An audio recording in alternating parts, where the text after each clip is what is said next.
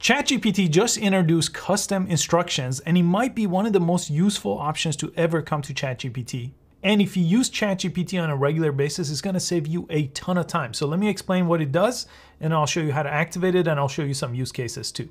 So this box right here, I'll show you how to activate and use it in a second, but let me show you what it does exactly. These custom instructions, what they let you do is they let you tell ChatGPT some information and then ChatGPT will save that information and every new chat that you start with ChatGPT, it will have that context.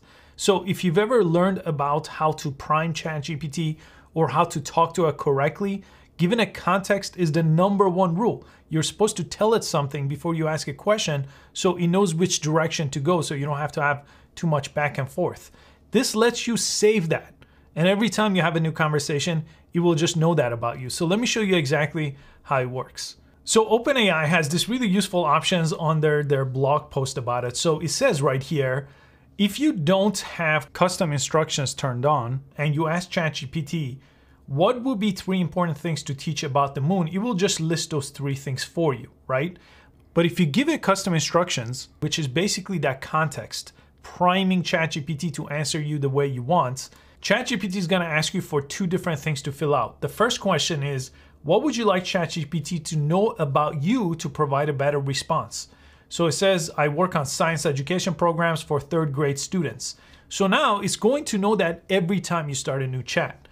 Then you're going to tell it, how would you like ChatGPT to respond? This is where you could ask for a format. So here it says table formats, outlining pros and cons for each solution, making it easy to compare and make a decision. So this is going to give you that kind of response every time. And look at the difference here. So this is now the output it gave you. Before, remember, we just got three different answers like that. In numbered list, this one is more specific to exactly what we're looking for. Okay, first let's go ahead and activate a couple of things to note as I'm recording this. This just came out, so this is only available to ChatGPT Plus users. I believe they are going to roll this out to free members soon, but right now it's only in the Plus version of ChatGPT. And as I'm recording this, it's not yet available in the UK and Europe. Hopefully that's gonna change any day now. If I come over here and press the three dots here, I could go to the settings menu and here under beta, I could turn on custom instructions. Again, if you don't have this, give it a little bit of time.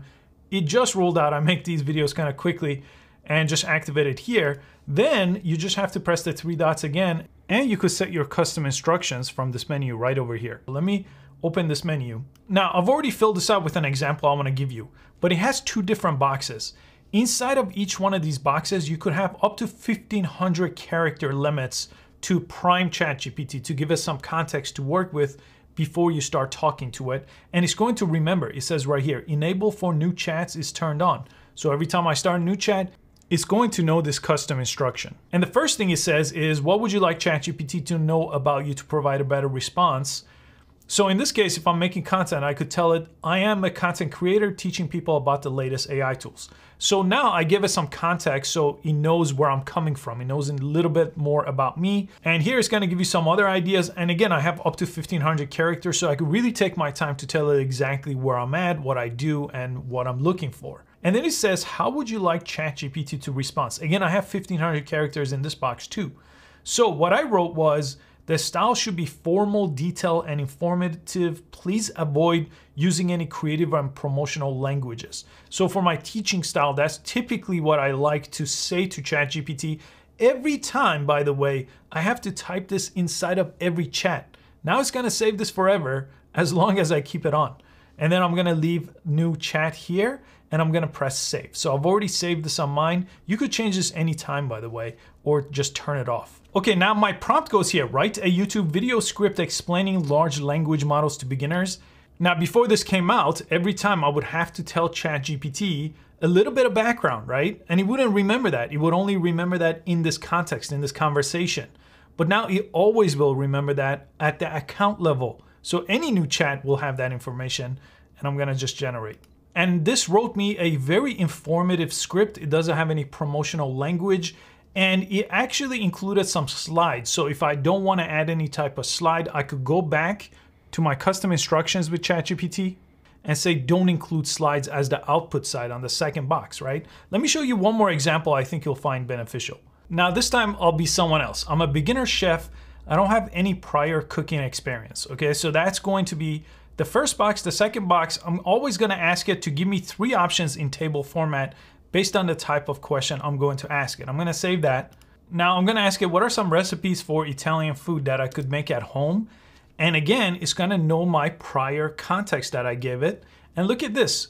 It knows I want table format because that's what I told it I want. And it's going to give me right here three different recipe ideas because I told it always answer to me in threes. So if I was doing this every single time, every single time before I would ask it my very first question, I would have to say all those things, right? I would have to say that I'm a beginner chef, so it would make this a beginner friendly version of these recipes. I would have to say, make me a table. I would have to say, limit it to three. Now I never have to say that. Every time, depending on what I'm doing, I just go back, change my custom instructions, whatever I want in those two boxes, give it as much information. And this is going to seriously speed up my workflow. I hope you could do the same for you. And if you want to really learn AI and stay up to date with the latest updates, we have an entire platform that's all about generative AI. So ChatGPT, Midjourney, the top 20 AI tools, we have entire courses on, not just tutorials, but entire courses, some over 70 videos in just one course. And it comes with a ton of different prompts you could download and copy and paste for ChatGPT and other platforms. It comes with study guides, dozens of study guides. It comes with an entire community sections where you could ask questions. And you could try it totally for free for three days. Then it's a simple monthly subscription. I hope these custom instructions speed up your workflow with ChatGPT, and I'll see you on the next video.